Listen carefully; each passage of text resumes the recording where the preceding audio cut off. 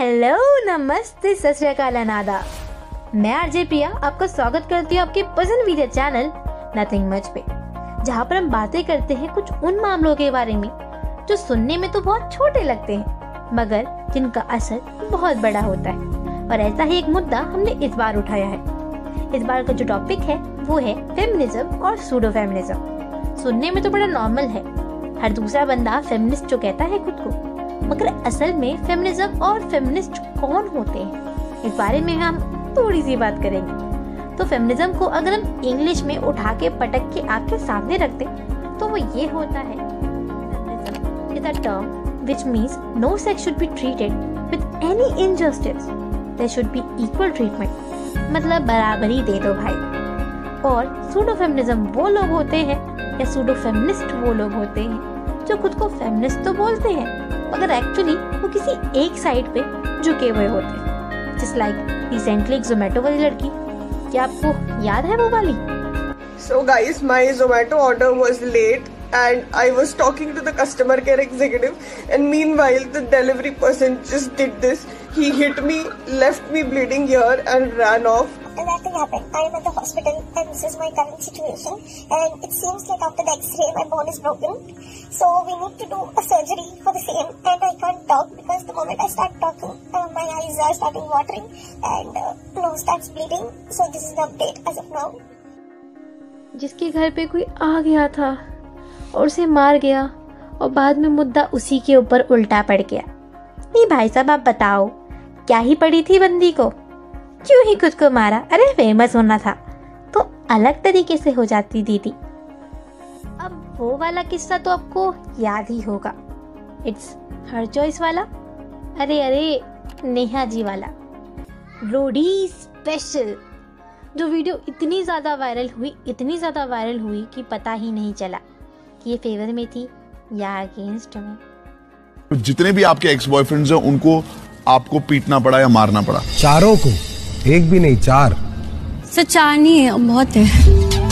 चार वो है जिनको मैंने मारा है। तो किसने कुछ कहा था? हाँ कुछ ना कुछ ना मतलब होता है कि रिलेशनशिप में आप कुछ भी कर देते हो और कुछ भी बोल दोगे। कैसा लगा मारने के बाद? मज़ा आया था? कैसा लगा मारने के बाद? मज़ा आया था।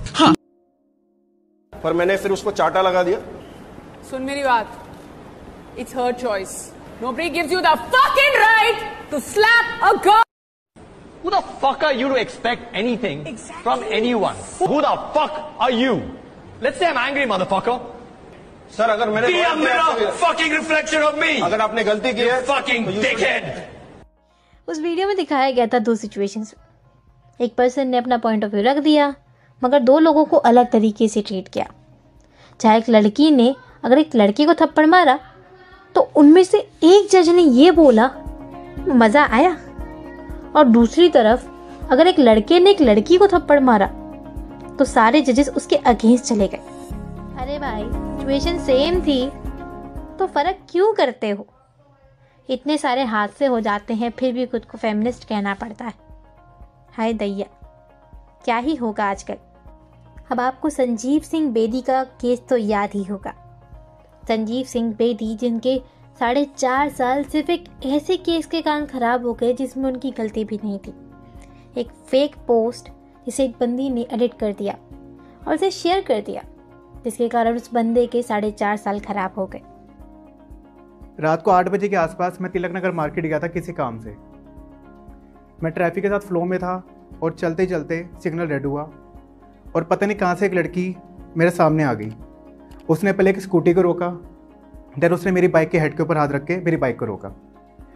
मैंने उसको बोला कि, मैम, मुझे लेफ़्ट जाना है। आप अपना जहाँ पे आपको जाना आप चले जाओ, क्योंकि लेफ़्ट साइड फ्री था। उस लड़की ने मेरी बात को इग्नोर कर दिया और मेरी बाइक के आगे से नहीं गई। तो मुझे थोड़ा गुस्सा आया। मैंने उसको बोला कि, तुझे जहाँ पे जाना तो अपना चली जा, और मुझे जहाँ पे जाना मुझे जाने दे। उस लड़की ने अपना फ़ोन निकाला और मेरी फ़ोटो कैप्चर कर ली। ये देख के मुझे थोड़ा अजीब लगा और मैंने कहा ये क्या बदतमीज़ी है? मतलब मेरे वर्ड दिए कि तू अपना चला जा हम तेरी फ़ोटो को डिलीट करवा देंगे। और उनकी बातों पे विश्वास करके वहाँ से मैं तो क्या ये गलत नहीं है? क्योंकि साढ़े चार साल में उस बंदी ने न जाने क्या कुछ फेस किया होगा?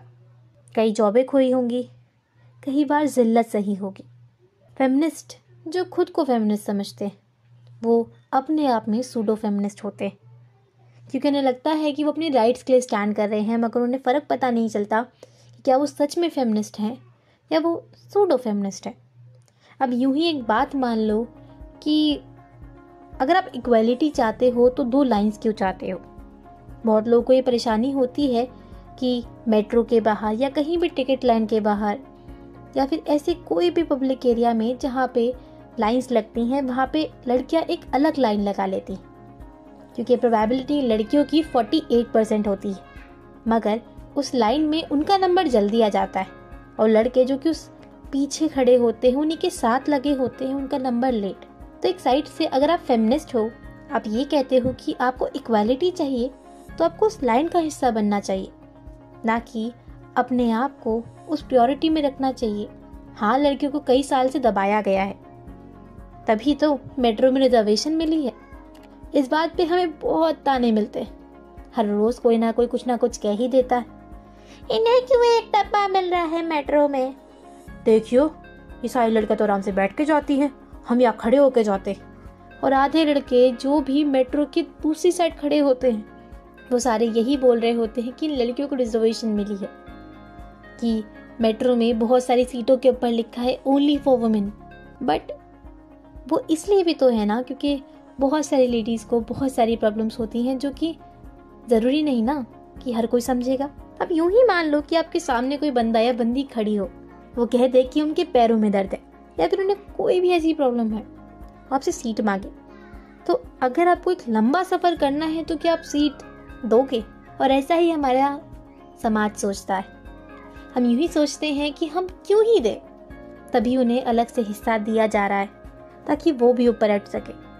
मगर इसका मतलब ये नहीं कि आप फेमिनिस्ट हो। अगर आपको लगता है आप फेमिनिस्ट हो तो आप खड़े रहो।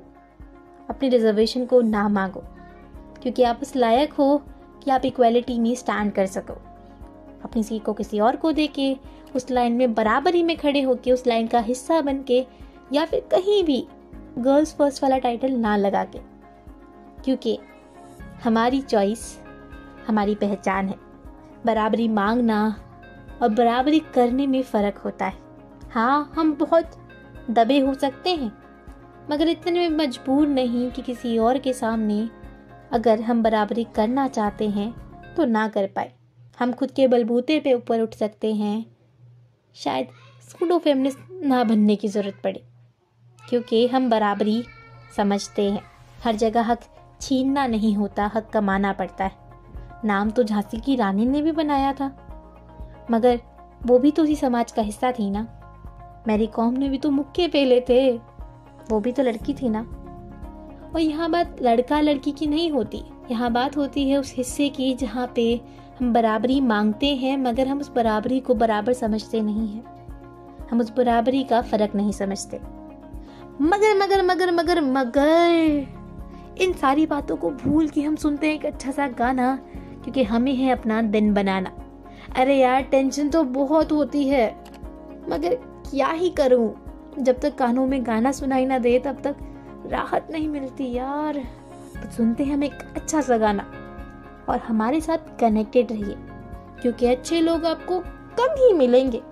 खासकर हमारे जैसे तो बहुत कम है। स्टिल दैन बी से बी का। इस गाने को सुनते सुनते हम लेते हैं आपसे विदा। मगर ये हमारी विदा है, अलविदा नहीं। गाली बद्दू चलता है, मैं मारू, चलता है, लड़के ताड़ू चलता है लंबी लाइन छोड़ आगे बढ़ दू, चलता है, घर पे बैठू, चलता है तू बहाने चलता है। हैशटैग मीटू पे झूठ बोलू, चलता है डाउरी के इल्ज़ाम में पैसे लूटू, चलता है हुस्न दिखा के प्रमोशन ले लू, चलता है पिटू फिर भी तुझको उठा के सीट ले। फेमिनिज्म सिखाया छोरियों को बेचारियाँ, छोरियों ने ही बनाया। जिनको बढ़ना है, वो बढ़ती हैं, पहाड़ अकेले चढ़ती हैं। कुछ है जिनको वाहनों के पल्लू ने छुपाया। कंधे से कंधा मिला के चलना है तो चल दो ना, कोई मसला है तो हल दो ना। हक की लड़ाई कह के बेफिजूल अकड़ो ना। हक की लड़ाई कह के बेफिजूल झगड़ो ना। बालाजी में सोचो, एकता न होती। चाँद कल्पना की कल्पना ही न होती। मुकाबले में मैरी कॉम ने मुँह के बल न पहला होता। सोच अगर झांसी की रानी वीर नहीं सती होती। बहाने